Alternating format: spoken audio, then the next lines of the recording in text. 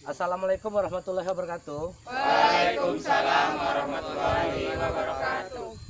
Syukur alhamdulillah pada hari ini kita eh, masuk kepada sesi ke pembuatan tanah media untuk menanam jabu madu tabu lampot ya. Sesuai dengan pembelajaran kita kemarin berapa perbandingannya? Satu banding satu banding dua. Satu bagian kompos, satu bagian kokopit, dua bagian tanah. Jadi, cara membuat tanah media jambu madu tabu lampot itu eh, menggunakan satu bagian kompos, satu bagian kokopit, dan dua bagian tanah gembur. Karena kami sudah menakar empat gerobak tanah gembur, maka kami akan menggunakan dua bagian kompos, dua bagian kokopit, dan empat gerobak tanah gembur. Benar? Nah. Ya. Siapa namamu? Yusi, Pak. Yusi ya. Untuk eh, melakukan pembuatan ini sangat berbeda dengan pembuatan tanah media tanaman-tanaman seperti bunga ya. Apalagi zaman sekarang ini ada pelapukan, pelapukan limbah karet itu dikasih eh, sekam padi ataupun serbuk gergaji itu sudah dijadikan media tanam. Kalau buat bunga sih nggak masalah ya, tapi kalau untuk tanaman buah-buahan jangan.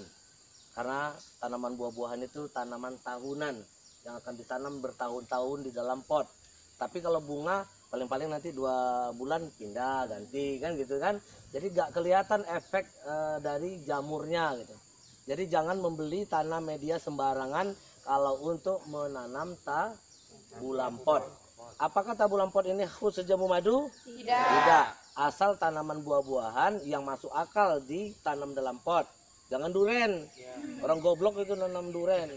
Di dalam pot sedang ditanam saja empat tahun nggak berbuah, lima tahun baru berbuah. Kita mau tanam dalam pot, lima tahun baru penuh akar aja kapan dia berbuah kan gitu kan. Tapi kalau buat koleksi tidak apa-apa ya. Oke, karena tadi sudah disediakan, silakan eh, mulai dikerjakan eh, tanah media ini kemudian kita kasih tingkatan pertama adalah pupuk Kompos. kompos oke dilakukan pendederan pupuk komposnya dengan ketebalan yang rata ya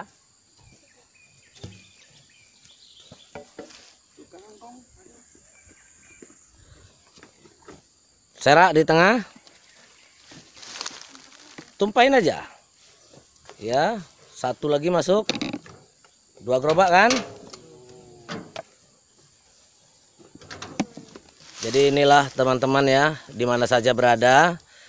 Eh, saksikan eh, siswa-siswi SMK Negeri 1 Pasir Penyu ini sedang melakukan praktek di Sanggar Finiza Tabulampot eh, Desa Batu Gajah ini ya.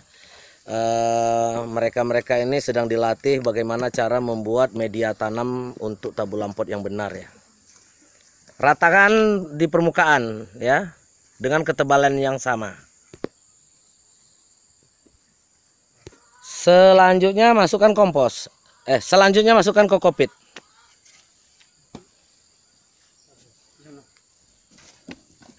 Kokopit ini satu karung ini sudah diuji bahwa du, lebih kurang dua gerobak. Jadi nggak perlu ditakar lagi ya.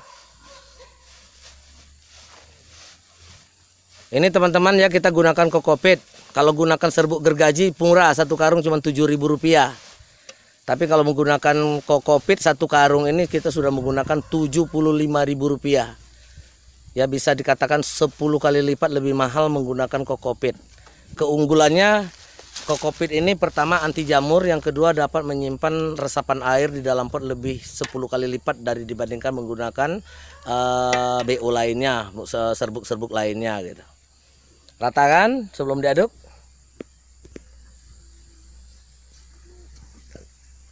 Sudah jalan. Jadi setelah rata seperti ini kita aduk dengan cara ditarik dengan cara dari atas ke bawah itu diambil satu lapis ya jadi waktu kita narik itu kokopit e, kompos dan tanahnya ketarik ya. Nah seperti ini ya saya contohkan ya. Jadi sama-sama tertarik ya.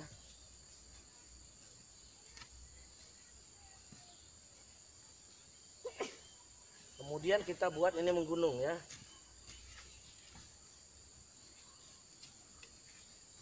Nah gantian nanti dia jadi gunung sebelah sini ya.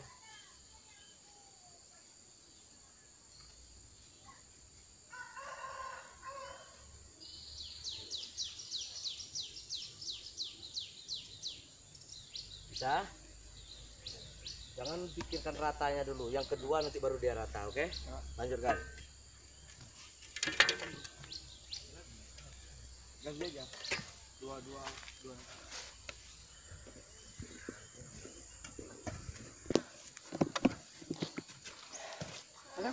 Awas jangan sampai beradu peralatannya ya.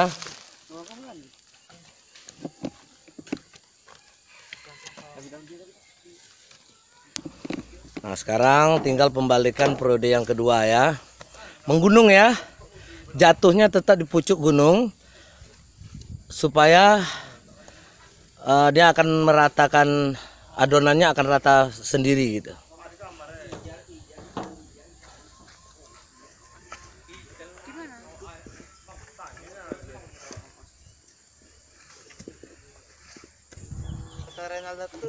Tukang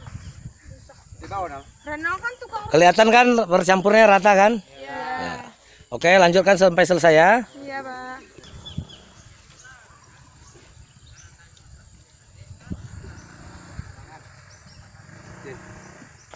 Maju bersama Siti. Dibuang ujungnya. Ujungnya dibuang tanah itu.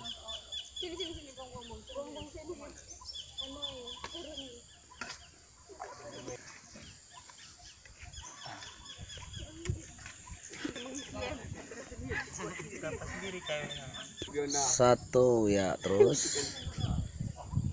Oke ya.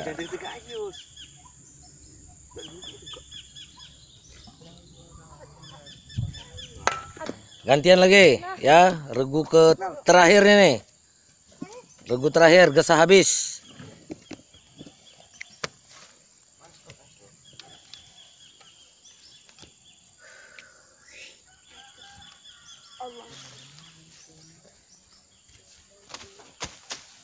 Nah, jadi kalau cara pengadukan seperti ini kita cukup dua kali mengaduk saja sudah rata kan?